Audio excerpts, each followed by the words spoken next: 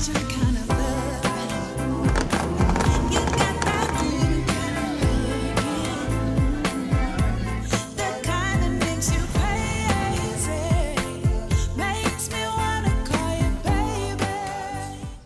mình vừa mới ra sân bay xong, Có một vấn đề là lúc bọn mình vừa lên xe ra sân bay Thì bọn mình nhận ra là bọn mình quên mất vé concert Coldplay ở nhà. Thế bọn mình phải book Grab Rất là nhanh qua, Nhưng mà anh Phi rất là nhanh, Anh Phi một tiếng đã đến rồi. Thế nên bây giờ vé concert đã Ăn nghỉ trong cái túi này. May kinh Kiếp nạn đầu tiên ấy. Đúng là một buổi sáng quá là căng thẳng Thế nên bây giờ mình sẽ tranh thủ chớm mắt một chút. Sáng nay 5 giờ đã phải dậy rồi Siêu buồn ngủ luôn. A few moments later. Mình vừa mới xuống sân bay xong và cực kỳ nóng ấy. Bị sốc nhiệt mất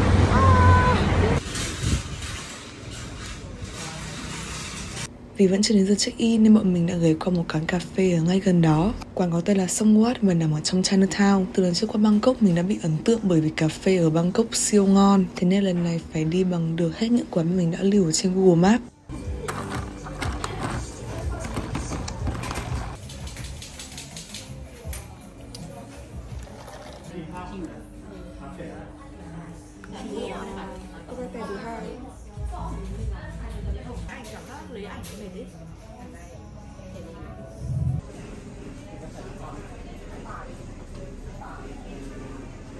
Đây là phòng ngủ bọn mình. Chị Bịch say hello đi. Hi. Trời em quay chị lúc chị đặt vật ở đây chị đang Nó sẽ buồng một cái buồng thế này. Mình nằm tầng dưới xong chị Bịch sẽ nằm tầng trên. Đây là phòng 4 người. Cũng rất là sạch sẽ và trông kiểu ánh sáng rất tốt đấy. Và có điều hòa. À? Đi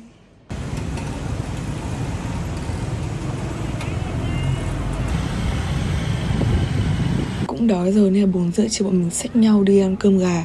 Nhìn thì trông nó rất bình thường Chỉ có cơm với thịt gà cùng một bát nước chấm bên cạnh thôi. Nhưng mà đến khi ăn cái miếng gà ấy, thì mình đã phải wow lên Bởi vì gà thật sự rất là mềm. Chị bị bảo là hơi cay này sẽ chấm ít thôi. Xin mời. Cay mời Cơm gà Michelin. Gà Gà. Mềm cực ấy Ngon lắm nhỉ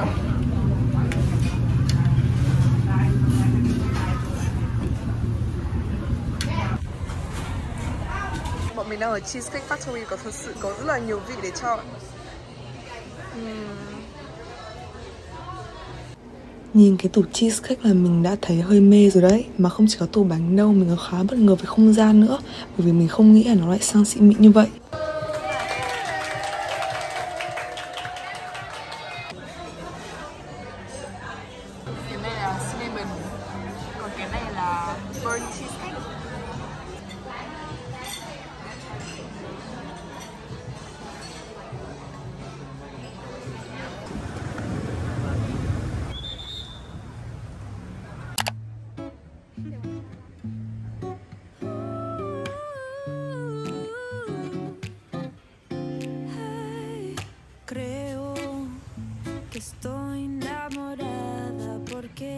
Ở đây có phục vụ cốc trà này Thế nên là mọi người thấy không gọi nước nhá.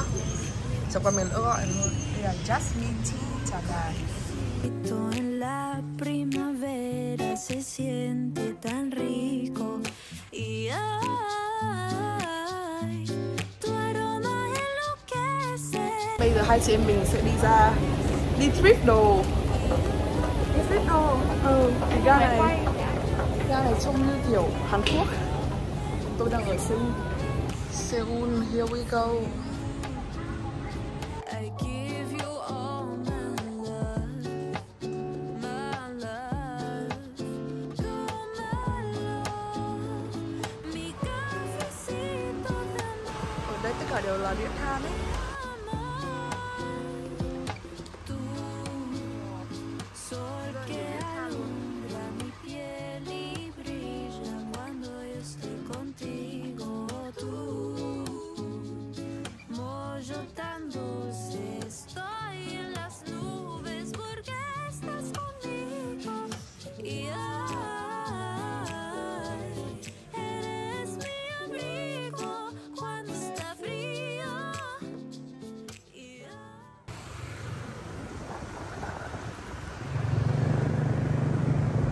Đây, bây giờ đi ăn tráng miệng này. Xin giới thiệu với mọi người một hàng xôi xoài mà mình được chị bạn mình dẫn đi. 10 km để ăn xôi xoài Phần xôi dẻo nước cốt dừa thơm và đặc biệt là phần xoài mềm mọng nước. Đây chính xác là quán xôi xoài ngon nhất mà mình từng ăn. Và với thời tiết nóng thế này thì một món tráng miệng là không đủ. Thế nên bọn mình đã qua After You để ăn bingsu Vị hojicha có chân trâu ở bên trong siêu mê. Mình sẽ đi ăn cà ri. Đây Đây là cà ri uh, với thịt lợn. À đâu? Đây là cà ri với thịt bò Còn đây là cà ri với gà Cà ri xanh. Cơm hơi bị tơi quá Nhưng mà cà ri thì nó rất là béo ấy. Cái này tụi cũng này quá tiết kiệm.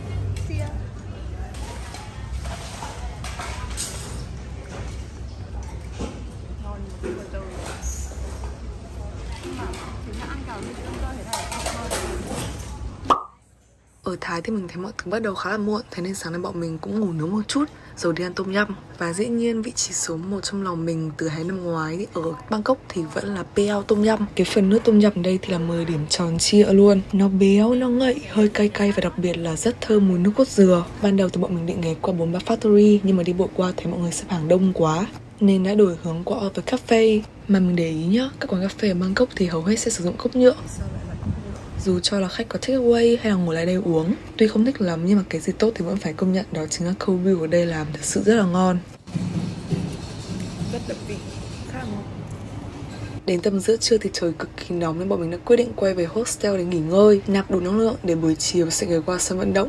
Đây chính là lý do cho chuyến đi Thái Lan lần này của mình, đó chính là đi concert của Coldplay. Và để kỷ niệm ngày hôm nay thì mình đã quyết định đầu tư thêm một chiếc áo phông của Coldplay. 1, 2, 3 Cắt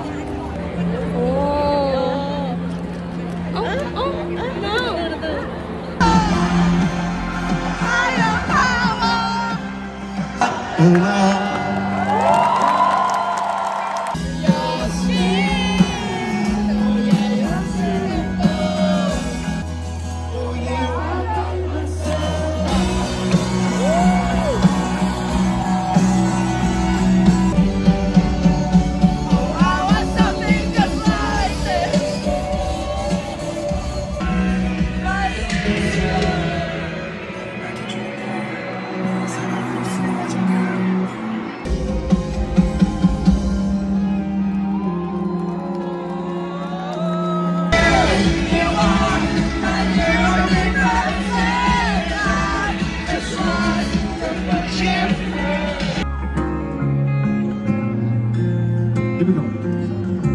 Okay, thank you, everyone.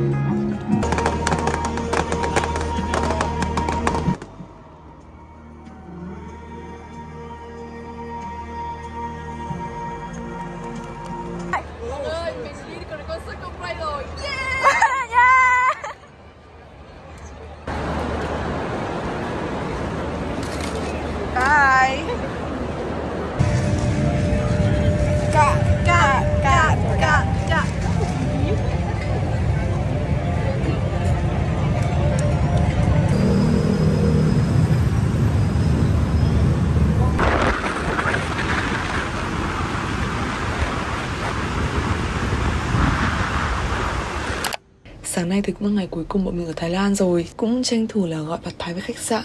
Cái bát thái của Faitalu này cực kỳ ngon luôn nha. Còn đây là quán cà phê cuối cùng mà mình muốn ghé đến ở Bangkok trước khi mà về nhà, Có tên là Akikarat. Concept văn phòng máy tính các kiểu trông rất là lạ luôn.